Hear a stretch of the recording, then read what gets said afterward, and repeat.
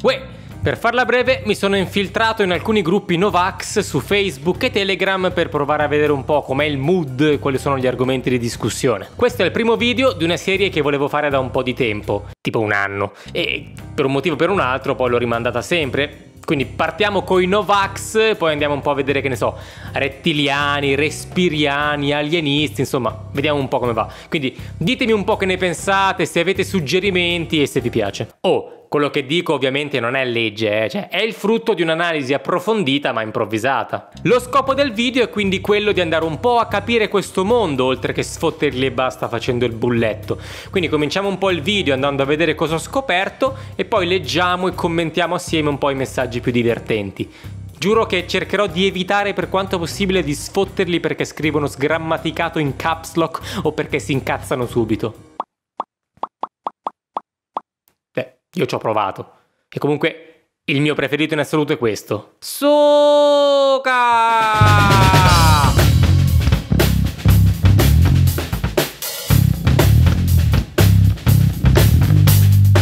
Nel corso della mia lunghissima carriera da infiltrato tra i Novax ho scoperto un sacco di cose che non mi aspettavo, a cominciare dal fatto che molti non amano essere additati come Novax, perché in fondo anche per loro ha un'accezione negativa, non per tutti è motivo d'orgoglio diciamo. Tuttavia ho anche trovato conferma di molti tra i luoghi comuni che circolano su internet, ad esempio il modo con il quale selezionano le informazioni. Innanzitutto è vero che danno pochissima importanza alla verifica delle fonti. Poco importa se chi parla è un soggetto non ben identificato che racconta cose poco credibili, un medico radiato oppure un notaio. Se conferma il loro ideale, diventa automaticamente un notaio, quindi uomo di legge e pubblico ufficiale non come quell'altro notaio, quello lì è un corrotto che fa i bocchi. Vero è anche che non hanno moltissima voglia di approfondire le notizie. Ad esempio, se c'è un titolo clickbait, gli basta la copertina, non è importante poi andare a vedere cosa dice davvero la notizia. Diciamo che gli basta poco per fargli scattare l'embolo. Ah, poi non l'ho detto, ma la grafica è sempre di qualità. Parlando di fonti di informazione, una cosa che mi ha stupito è che non condividono solamente notizie dal sito Cose che ti dirà solo mio cugino salumiere. Un saluto agli amici salumieri. In realtà girano anche un po' di quotidiani nazionali. Quelli che ho trovato più spesso sono Libero, La Verità, Il Tempo e Avvenire.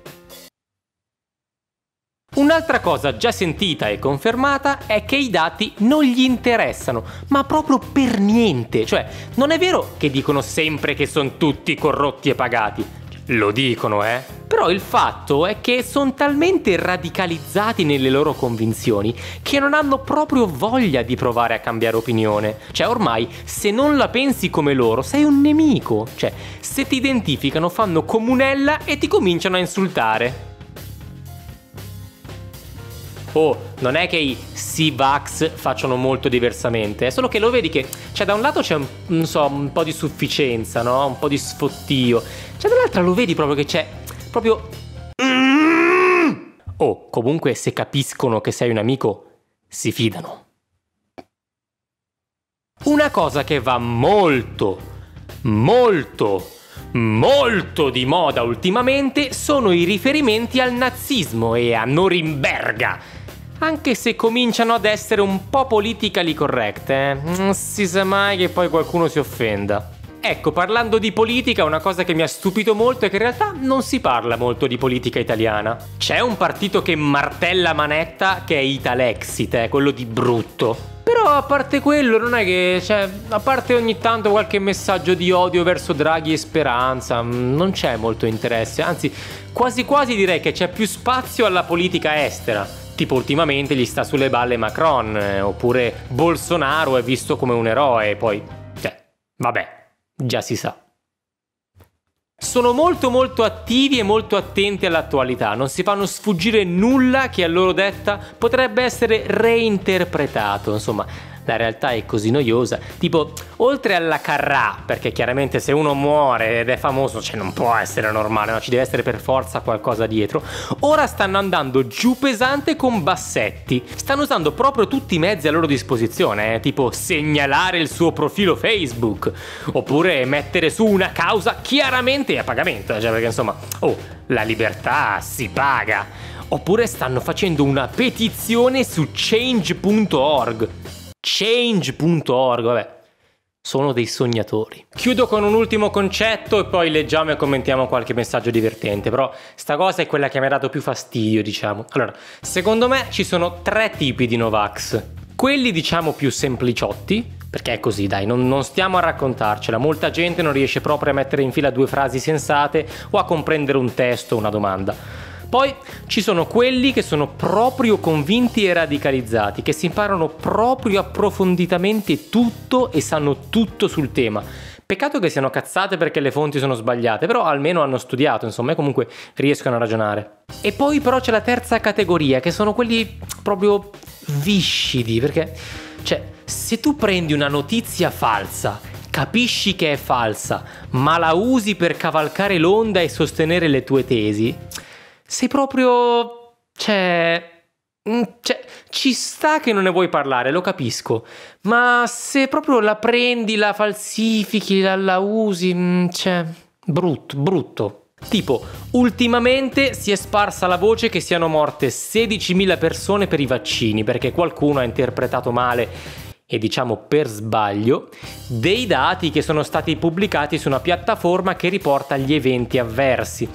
Ed ecco subito che qualcuno ha ripreso sta tabella, ci ha schiaffato sopra una bella scritta falsa, ha pure fatto un Excel che figlio mio che sbatti e ora sono convinto che almeno un Novax su due pensi che 16.000 persone in Europa siano morte per i vaccini. Oppure ecco che uno prende 20 secondi di un video di mesi fa, li toglie dal contesto, ci piazza una scritta e ricondivide dicendo che i vaccini che circolano non sono mai stati approvati in America. Perché poi chi vuoi che vada a googlare? Chi è quello stronzo che va a perdere te? Io! E quindi ti odio anche perché mi fai perdere tempo. Ma adesso basta, dai, ti ho ammorbato abbastanza. Magari farò qualche video più avanti per approfondire altre cose. Prendiamo qualche messaggio e leggiamolo assieme. I miei genitori dicono di non essersi vaccinati. Io vivo con loro. Come faccio a sapere se mi stanno dicendo la verità? Tossendogli addosso e aspettando qualche settimana. Non lo fare il vaccino. Ora esce una pillola. Attendi, non precipitarti, che sei pure giovane. Io a 60 anni ancora non l'ho fatto. E io che sto aspettando il suppostone. Avete notato che da quando la gente ha cominciato a vaccinarsi la grandine è più grossa? HARP Manipolazione climatica, sì, non ce la raccontano giusta. Pensa come sono diventate grosse le mie palle. Ordine dei medici e ordine dei pediatri uguale associazione a delinquere. Concordo visto che stanno tenendo in vita te. Dai, questa era un po' cattiva. No ai vaccini, no alle mascherine, no al distanziamento, sì a due quadratini al giorno di extrafondente che distrugge le malattie e fa bene alla pelle. Iginio Massari 1, Burioni 0. Buonasera, il mio medico di base ha esposto un avviso per i pazienti. Chi non ha intenzione di vaccinarsi contro il Covid è pregato di cambiare medico presso la ASL.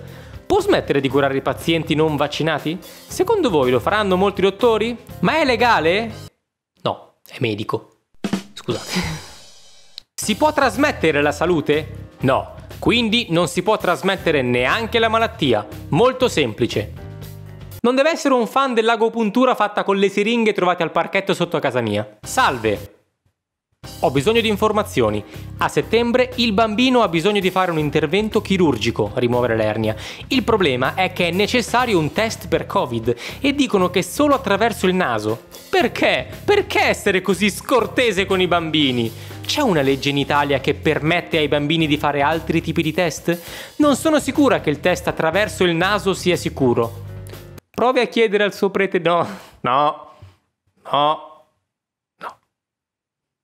Lo stato di emergenza dura due anni e siccome è stato firmato a dicembre 2019, dura fino al 31-12-2021, come programmato. Poi, da gennaio 2022, lo possono reintrodurre fino al 2024.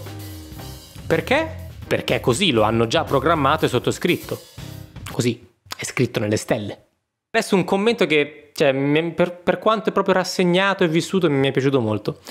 Perché la magistratura non indaga? Perché non si denunciano tutti? Quanti perché?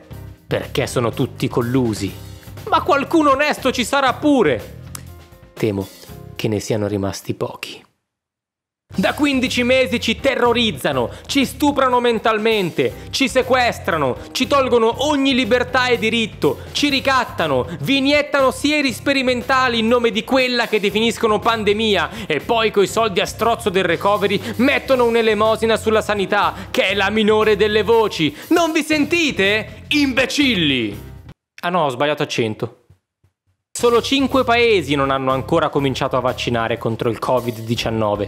Corea del Nord, Eritrea, Burundi, Haiti, Tanzania. Dall'anno scorso i presidenti di tre di questi 5 paesi sono morti. Sicuramente non c'è correlazione. Mai avrei pensato di dover prendere come esempio il Burundi, però, insomma, un saluto agli amici dal Burundi. Questa occhio perché è difficile. Eh? Ci sono un sacco di anziani che attendono di essere vaccinati. Stranamente ancora tutti vivi, altrimenti non potrebbero attendere di essere vaccinati. L'anziano di Schrödinger. I virus servono tra le altre cose alle cellule per scambiarsi informazioni utili tra loro. Se si cerca di sbarrargli la strada, le cellule non ricevono più le informazioni che gli occorrono e quindi è più facile che impazziscano. Devo avere molte cellule anch'io perché sto impazzendo, quindi direi per oggi basta così ragazzi, è stato un piacere. Fatemi sapere se vi piace questa nuova serie, se avete suggerimenti, insomma, per oggi direi che è abbastanza. Aspetto gli insulti nei commenti. E basta. Alla prossima!